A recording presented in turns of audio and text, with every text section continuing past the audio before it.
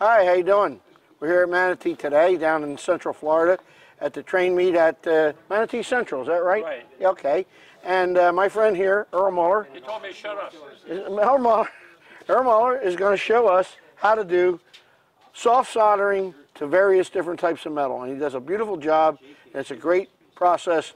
If You'd like to try it? Uh, here's the video on how to do it. So I hope you enjoy it. My name is Daryl Mueller, and I'm going to do this soft soldering demonstration for some people that don't understand how to do this without using a torch and not distorting your work when doing it. It's very, very easy to do. And if you use a torch, you're going to find that you distort the metal because the torch is going out all over and it's distorting the metal. What I'm using is, first thing I'm using is solder that I use, the flux I'm using is Stay Clean Flux. It's poor, it's very clear, no flux is on it after you're done with it. All you gotta do is wash it off with water and it's all taken care of. Um, if it gets on your hands, it doesn't burn your hands unless you put it in your eyes. You can leave it on your hands all day long and it won't bother anything. It's very, very mild acid. The solder we use is 50-50 solder, but not the, no lead solder. It's got to be the lead solder, which is this. Now, that solder, when you're working on a diesel or something like that, only needs to have soft solder, which melts at 325 to 335 degrees.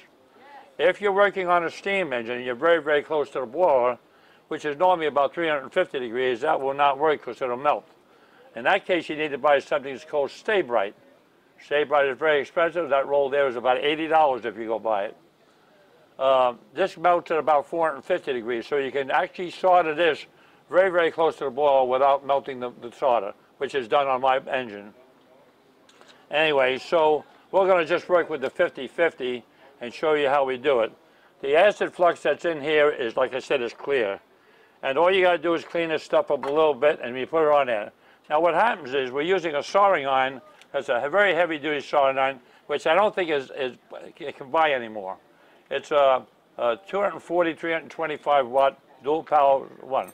If you don't use something this heavy, you're not going to be able to do it, especially on thicker metals, because you're not going to be able to transfer enough heat. When you solder with this here, you're going to find that instead of starting with torch, which is going to go over the place, the solder wants to go to the tip. So you're drawing the solder to the tip, so you're not making it run all over the place. It's going directly to the tip. So you're only soldering the part you do. You're not doing no distortion of the metal. So when you see this done, you can see where I just tacked some of this here. And now we're just going to go over and show you the, how it works out to where we can actually run a thing. And then you can go over it and you can smooth it out. And also, usually, when you do this, on the back side of it, there's usually no solder on the back side. If it is, it's just a little bit because it's still going back up into the, the, the, the point tip here. So it's not trying to run down the other side unless, unless you, um, uh, unless you do it vertically. Then sometimes vertically it'll run down on you because you can't help it. Uh, if you're careful, you can do it. I, I do it, but some people at first may not be able to do it. It's a little bit tricky to do vertical. But horizontal, and I do vertical, but it just takes a little practice to wind up doing it.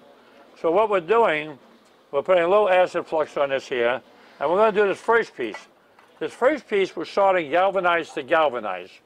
People think that's a no-no, but it's not a no-no. I've done it for years. On my job, I did it all the time. And then after that, we're going to solder the galvanized to stainless steel. Then after you do that, we're going to solder the stainless steel to brass. Same flux, same solder, no change, no distortion. So I'm going to put a little flux on here and see what we can do about going on here. I really need to be able to see a little better, so I'm going er to have to move some.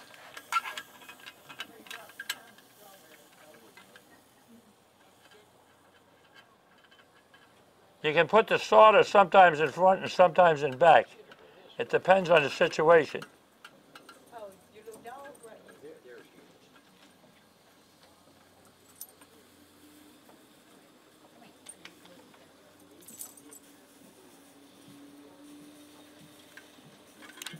Now, there it is, right?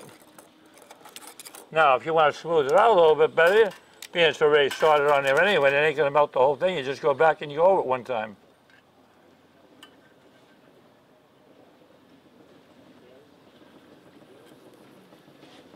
Now, do you want anything any better than that?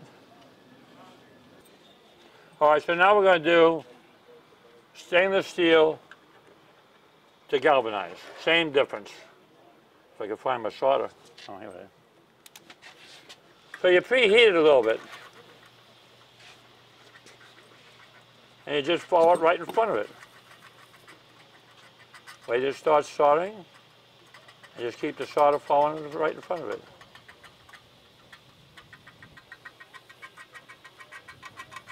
You go a little slow, watch your heat. Make sure your heat's going all right. And you go right along there. And there you are. Now, here I want, okay, I made a couple of mistakes here, so I just go back over it again.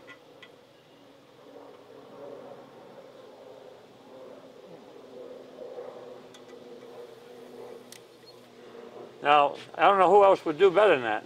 That's amazing.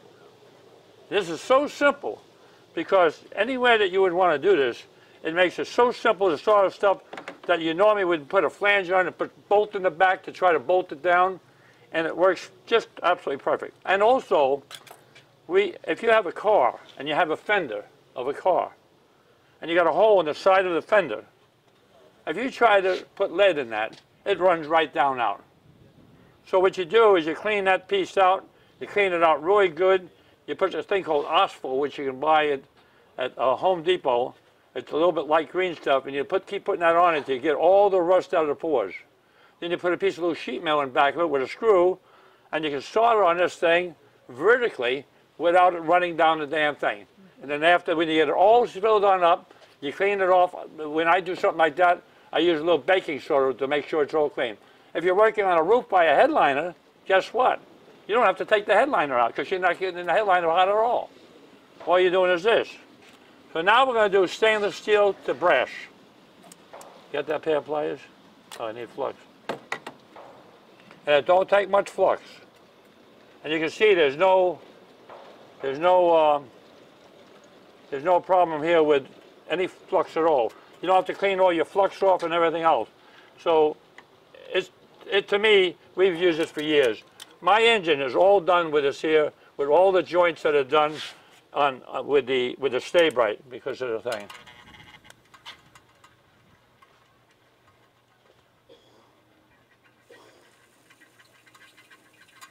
But you need a hot soldering iron.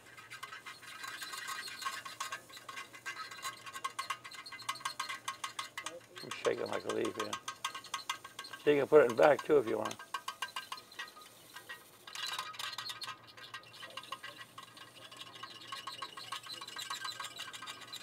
You might go back and you might clean it up.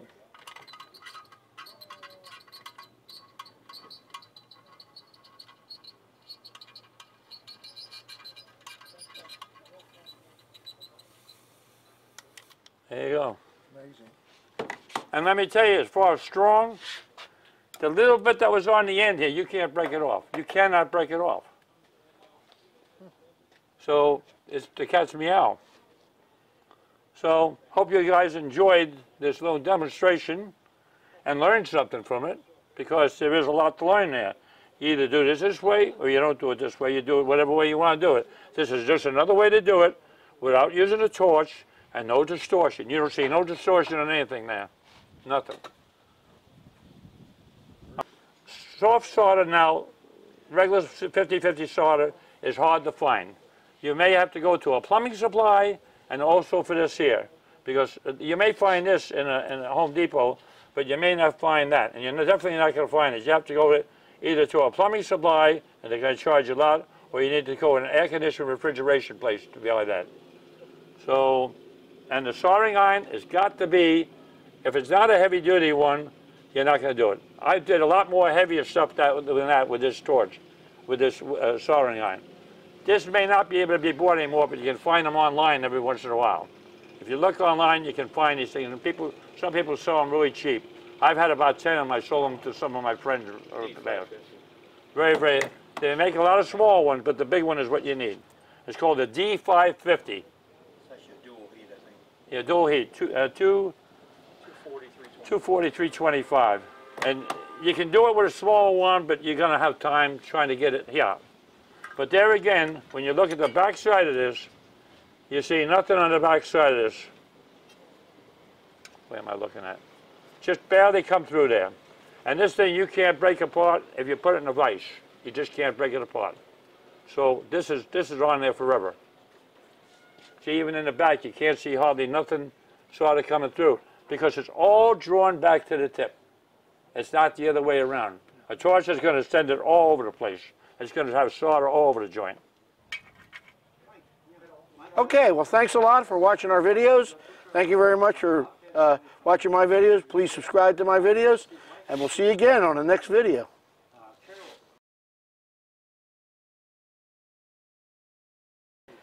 Okay, uh, we're here at Manatee today, and um, we're down here in uh, Central Florida. Shut, shut up. By his own. Hey, What? what's wrong with you? What's the matter? Oh, I don't know. You didn't tell me you're doing it. What is, what is something? wrong with you? What, have you been drinking again? I'll try it again. Take two.